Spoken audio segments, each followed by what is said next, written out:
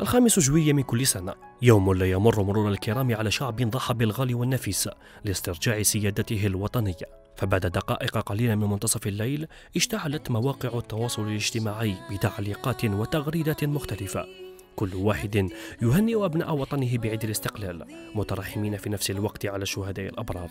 صفحة مختلفة على الفيسبوك كانت مع الحدث أين قدمت صور الاحتفال بعيد الاستقلال في سنة 62 900 وألف؟ ولكن الجديد في الأمر أنها عالجت تلك الصورة مدخلة عليها بهجة الألوان شخصية وطنية وسياسية. وحتى بعض المواقع الرسمية لعدد من السفارات المتواجدة بالجزائر قسمت مناسبة الاحتفال بعيد الاستقلال بنشر تعليقات وتغريدات مختلفة لتهنئة الشعب الجزائري. مختلف المجالس الشعبية البلدية استغلت المناسبة كذلك لبث مختلف نشاطاتها احتفاء بالذكرى على مواقعها الرسمية. ومهما كانت طرق التعبير عن هذه المناسبات؟ تبقى ذكرى 5 جويلية من أغلى المناسبات كونها الذكرى التي تمثل استقلال الجزائر بعد تضحية جسام من الشهداء الأبرار.